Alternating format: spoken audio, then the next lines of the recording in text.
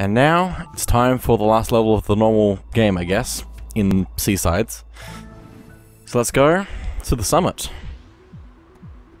Definitely a very difficult C-Side. The first room is not too crazy, but it still takes preci precision to get through. Have to do a lot of uh, dash wall jumps to get all the way to the top there with all of our dashes. Especially right there. I, run out, I, I ran out of dashes there quite a lot, but we're to need to be able to dash off of that and then dash after we've jumped over the wall as well. So we can't just jump and dash like that. And the last room of this level is the one that took longer than any other room, I guess.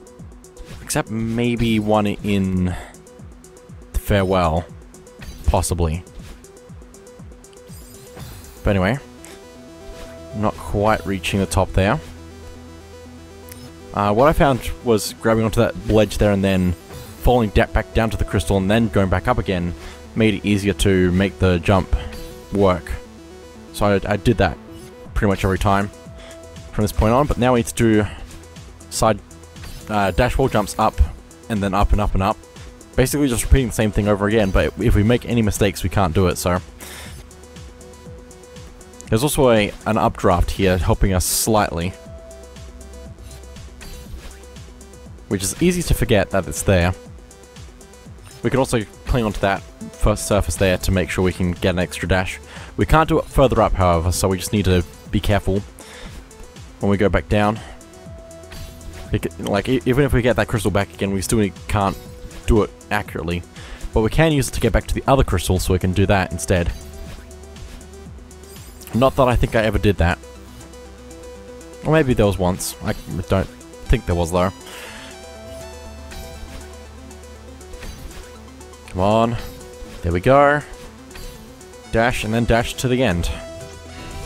So there we go. It's the first room down. The second room isn't too terribly difficult either. The first two rooms didn't take me anywhere near as long as the third room. The first two rooms together don't even make half of the third room. So, uh, but basically just need to bounce off the springs, bounce off the second, well, the third spring on the falling block, again to hit the activator and get to the platform. And then that's basically all of that room. Didn't take long at all. The third room, however, is very long and quite precise, with falling around the spikes and bouncing over them and dashing. All sorts of things. All the springs there. It's, it's, it, it took quite a long time. The third room took an hour by itself. The first rooms took 20 minutes, so if that doesn't say something, I don't know what will. We also have that cloud there that we need to not bounce at full speed off to get to that spring up there, because otherwise we'll bounce too high into the spikes. Then we need to dash while jump off that small block there. Managing to make it over to that cloud over there, which again, we don't want to bounce off at full speed. Want to dash through the small hole there and then bounce off the spring. Going into the maze of death that will take us a while to get to several times. And we just need to dash through a lot carefully to make it over to the end. So let's get started. And that end might look familiar. Just a little bit. And you'll see why once we actually make it to the end. Anyway, let's bounce off of all this. That, again, just like in previous levels, you get quite used to the first parts of the challenge. But the later parts of the challenge you'll have a lot more trouble with because you don't get there as often. Just because it's very easy to die in places you've already gone through. Doing pretty well in this run though. Just gonna die right there though, unfortunately. But it happens, considering how precise we need to be. Determination is key to the C-Sides and farewell. Even if, if you're struggling, you, you can take a break, try again later, just need to keep trying, and you can do anything. There we go. I think I... No, I didn't. Making it through a little bit more. Don't bounce over the cloud too much. Good, good. Making good progress, and dashed into the spikes. Well, that's a shame. But I will avoid doing that in the future. Obviously. Okay. Okay. Good. Here we are again, making sure I get the right dash in there, as well as dash wall jumping and get through there. Okay, and that's the first time getting into there. That took a, a little bit of time, but it took me 25 minutes to get back to that point on this run. So it's been 25 minutes since the previous attempt, basically. And I, I wanted to keep track of how long it took me to get back to that point, basically, from this point on. It didn't take me anywhere near as long with any other attempt. But I struggled a lot after getting to that point, so... And I don't know why. I, I hit the spikes just before that spring uh, quite a few times. One minute later. So not, not too much time, obviously.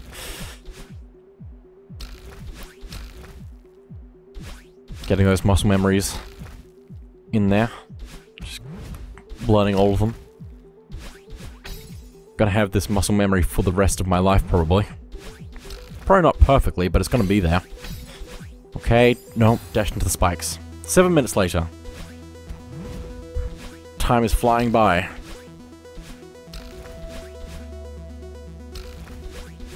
Probably over halfway now.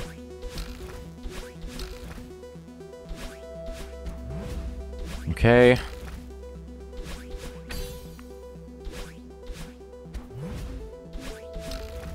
Okay, go, go, don't. Ooh, that's a bit close. No. Tried to dash, and I was a bit too close to the wall. Five minutes later, one minute later.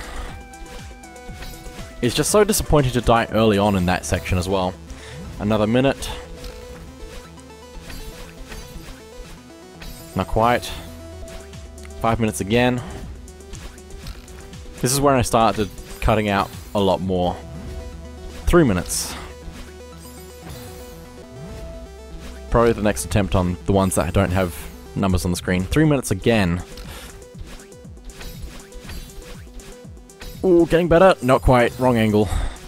Control stick issues. Another minute. I think we're getting close to the actual run now. Two minutes later. I think. Oh, we're getting close. Ah, oh, that died at the very end, but I think this is the run, so let's go. Just watch the beauty. That took an hour to do.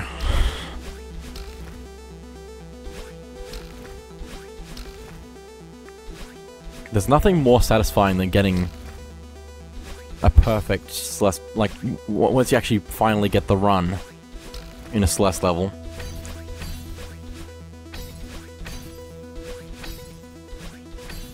And there we go, that platform block at the end falls down, but we're okay. We've made it. And this place should look familiar to us.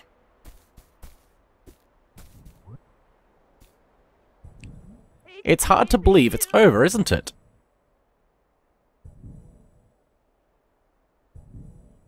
Funny how we get attached to the struggle.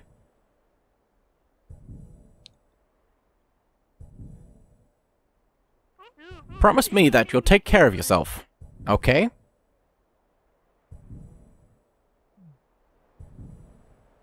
Thanks for the advice, Granny.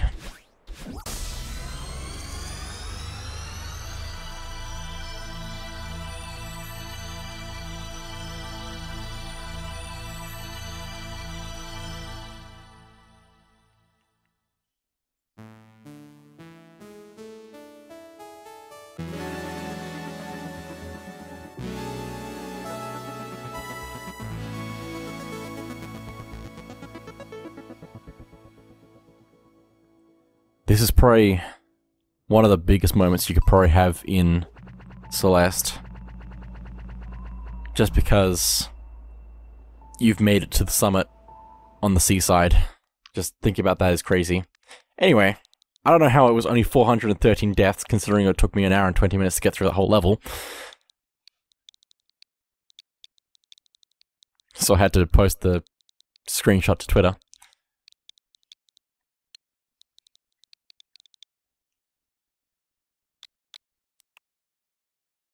But now, it's not quite over yet, because now it's time for the core. One of the most dreaded things you could probably do. First off all, we have to have pretty much probably all of the crystal hearts. to get in. Normal, it has the normal core Heart of the Mountain rules, where you can't use your dashes forever. Uh, but anyway, the first room is quite nice to us because it's teaching us to use the the wave dash, the soft wave dash, rather than the hard wave dash. The soft wave dash is just having platforms to land on that have have enough time for you to actually just dash and or wave dash without jumping first. So, but anyway,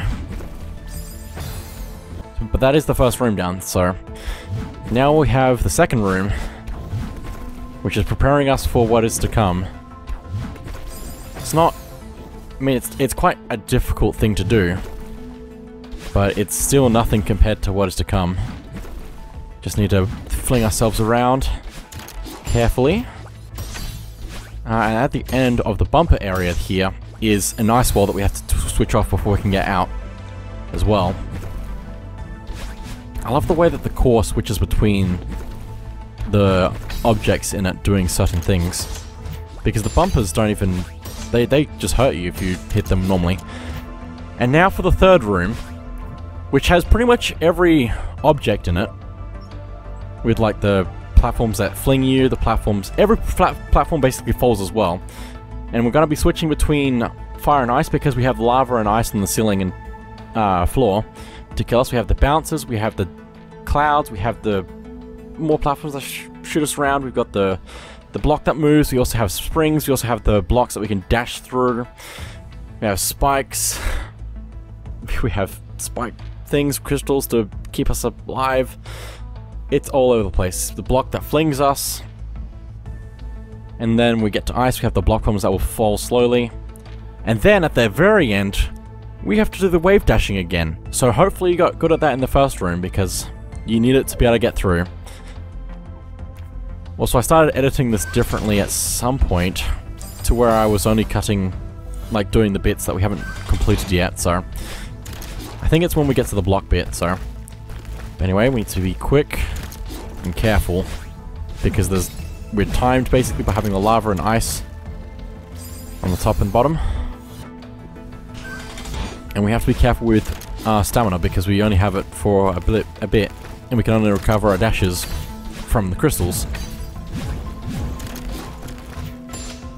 Okay, nope, that's not going to work.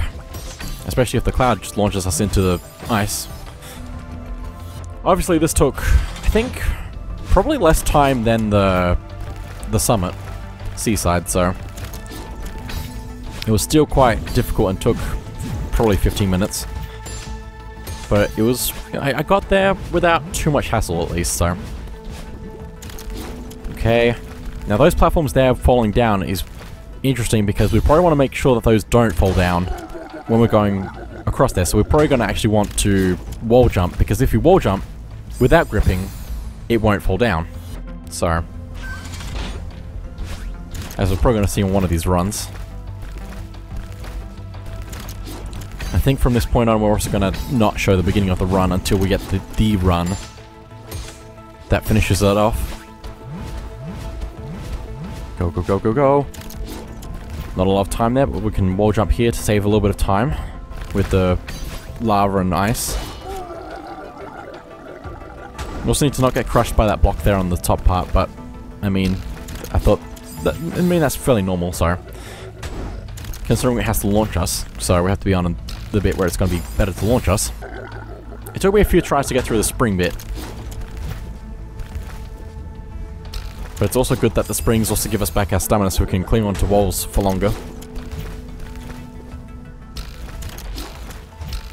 I'd actually say that this isn't as bad as you think it is. It's a long room, but you get used to it, I guess. In fact, I'd actually say that for the rest of the game, which is weird to think.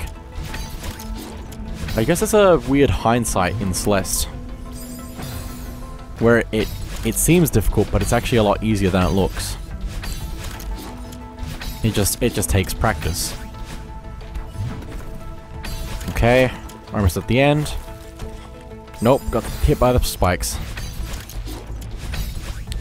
That that block to fling yourself there is a bit tricky because you have to be on the right spot on the block. Otherwise it'll fling you in the wrong direction. Nine minutes later. random time jump. I guess there's been a lot of time jumps though. But I guess that one took longer than the rest the attempts. Which means either my brain reset and was trying to relearn everything, just a little bit less than normal, or I was really struggling. Seven minutes later again. That wave dash at the end only took me a few tries to actually get it right, but after four minutes, after all that, I finally got the run.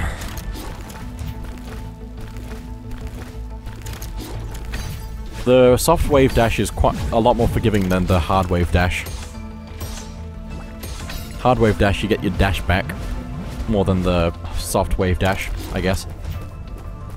But there's a lot more chance of messing it up.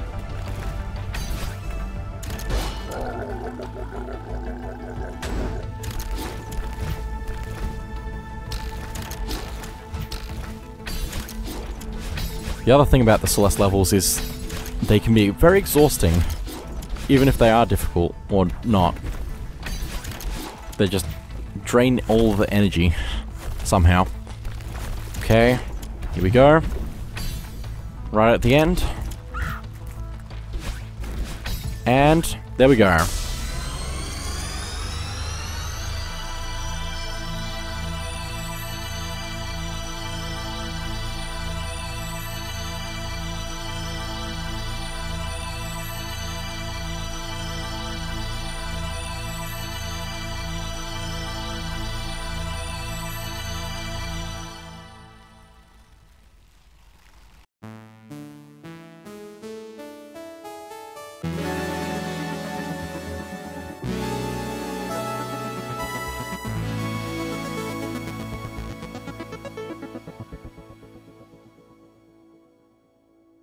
Felt so good to get to this this far in that I just had to take a second. Wow, you did it! Variants are now accessible from the file select menu. We'll be going over this at a later time. Not that much later though. Considering we've only got Farewell left. And oh boy, because we only left it off not even halfway. 210 deaths on that level by the way. And now, Let's resume farewell. Where we left off. Not quite halfway yet. Determination. Here we go. That's what. That's exactly what you need for it. So. Also, don't actually remember there being a. Oh, what's it called? A heart door in here somewhere. But I might just be remembering it wrong. So. But let's go. Except I need to wave dash properly. I did some of this fairly well. Other parts of it took me a little bit longer, but that some of them also took me a little bit longer because I had to actually figure out what I was doing. Not that. No, that's not what you're supposed to do. Okay, let's go around. Not like that. Again. Don't dash into the spikes. That's not what you're supposed to do. Uh, dashing down there resets the timer on the spikes coming back into where you are though. Which is good. Okay, let's go around. We need to dash wall jump to the other side, keeping our dash so we can actually use it again. Like that. And then I was confused what to do at the end there because the way out is up. And I just did not know what to do. Uh, but the what eventually I figured out, because I can't make that jump and dash by like that, eventually I worked out that I can actually use the momentum of the middle blocks to actually make it a little bit higher. And then I can use my dash from there on, so this should be the run through this room. Okay. Dash to get the back. And then there we go. And now this room, I don't think it took too long to get through, but we have this one platform which we can only stand on top of once, and it's got springs on either side, and yeah, just all the things. Just need to bounce our way up, somehow making it through. And then at the very top, we have an extra double dash. We need to make it all the way up to the top right. So let's go. Also, because of playing Celeste in the hardest levels, I actually got this, um, like, um, wrist brace thing. And that's the main reason I got it, not for Super Mario RPG stuff that I haven't done yet.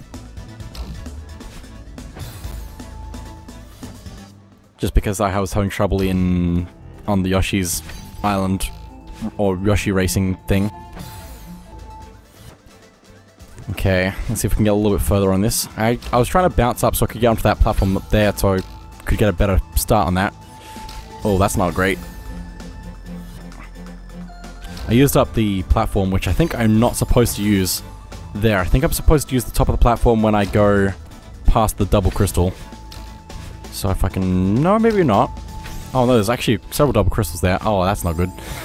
Don't bounce off of that. Also, I love the, the patterns in the walls with the... everything. Like all the glitching out. I almost made it there, just needed to bounce with the spring and I might have been able to make it. Okay, let's go up. Good, good, good, good. Bounce, bounce, and up we go. Okay, this room is interesting because we have these red bubbles here. And it's uh, fairly long, I guess? I don't know, it just does not, doesn't feel that long. Uh, but anyway, also there's a, su the submarine there, crashed in the spikes. But you can see that there's wind here, which doesn't affect us, necessarily. It actually affects the red bubbles, so they all go up slightly than they're supposed to. So when I go into the bubble here, it goes up a lot faster than I thought it would because I thought it was going to go up towards that gap more. But no, because it goes up faster, it goes into the spikes. And as you can see, when I go sideways, it pushes me up a little bit. Which is how I'm supposed to actually get to that bubble up there. It's a little bit weird, but it's pretty cool at the same time. It changes up quite a lot for such a small change. It's really cool. Uh, but anyway, I also had a bit of trouble getting through that spike spot there. We need to also dash, or what's it called? We need to... I should remember what it's called by this point. We need to wave dash off of that platform at the end there so we can make it to the end. I think this is probably the run considering it didn't cut back to a later point in the level. So let's go ahead and do that, and there we go. I still don't think... Oh, we might be halfway now. Possibly. There's still qu quite a lot more to go though, so... We need to hit that switch there somehow, and then also hit... Also need to dash into that platform so we can actually get to the, the double crystal as well, like that. Oh, almost. But that's the, the right idea, so... Let's go. That was close. We made it through. Okay, this room is was quite difficult to get through. Uh, but we have to use that those platforms that launch us to get into the middle there. And it's got those walls that we can't we can only touch once, which makes it a little bit more tricky. I decided to try to skip over it if I could, just until after I got the the activator and the double crystal. Not at first, obviously, as you can see. But once I got it, I it, it worked out a lot better, so just need to jump over that, grab the crystal, not grabbing the wall there. Because otherwise we'd have a dash to get over to that block there, which I almost made that anyway, so... Let's go. Like that, that's what I wanted to do. Then around, and around again, and then there we go. That's the end of that room. I wanted to be safe, so I went to the top platform there to be able to get over the top. I probably didn't need to, but I wanted to be safe. This room was quite difficult though, because have, of course you have to time your fall. And I'm not great at timing, so... I Have to dodge all the stars? Star... I'm just... I don't know what they really call it. They're stars, so... Need to make it all the way through. I guess I'm getting confused because there's... Like, there's a lot of sea creatures here, which will make you think they're like, maybe they're starfish, but they're... I mean, you could you could argue that they're starfish, but it, yeah, I don't, it feels, I don't know. Anyway, let's fall down. We have a, a, a choice of which way we can go to fall down, I believe. Uh, I'm going to go through the middle one because I think that's probably going to be easier than the other one. Just a little bit, but it might be faster to go through the other one. Maybe it is easier to go down the other way. I don't know, but anyway, we can use this uh, red bubble here to get to the end. Okay, now we have Space Wind again. Which maybe that does affect the play and I just didn't realize it. But then we have that block there that's going to fall down, and we need to hit both of those activators with the getting the double crystal so we can get to the block over there and activate it and get out of here. Going to be difficult to dodge around the spikes though. And it's going to be difficult to actually do anything if I break the block down there before anything else happens, so... Anyway, it does seem like the space wind actually does affect us. Oh, I'm just crazy. Okay, that wasn't a great wave dash there because I didn't actually get my wave dash back. There we go, that's better. I almost got to the second one. I'm trying to go around through that small gap there to try and get the second switch. Uh, but I really need to have my dash again after getting both of those switches so I can actually do everything as well. So let's do that. Perfect. Grab that, and whoa, that was not where I thought I was going to go, but it, it worked, so... Okay, now... I have to do a lot of dashing into things and trying to stay in the air. So let's hit that. Let's hit the spring. We to take out all three of those walls so we can get through. So let's try and do that. Luckily there's a crystal there to help us get through. And then feather. That one's a little bit tricky to get the feather to work properly. Because you have to get the right angle. And then you have to get to the next feather, so... I did a little spin there because it timed it out just right. Didn't dash at the right time though. Uh, but anyway, let's go through. Just like this. Very nice. Spin around so we can hit the wall at the right time. And then in we go. Same thing again basically with the wall and the feather and we made it through.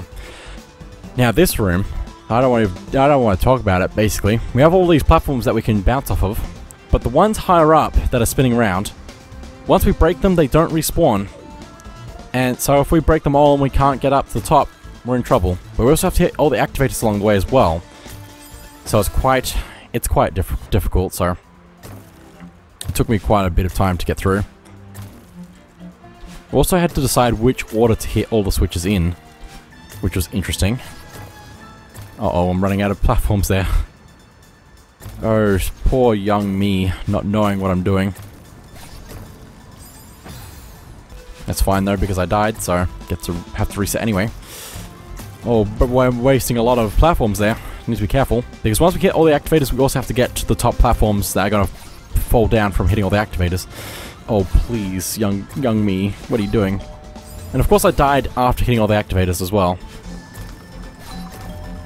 Oh, and I ran out of platforms before getting to the top. No! And it's all over. Just gonna shoot myself into the wall to reset. Okay, and of course I make it to the platform and then I immediately fall off. That's embarrassing. And of course I just killed myself to reset, because I'm not going to get back up there after that point. Anyway, I grabbed that one first apparently, because I found it was easier than going around everything else. Okay, and I probably want to grab the top one before the other two because it'll make it a lot easier and not have to worry about stuff as much later on. And then we get to the top.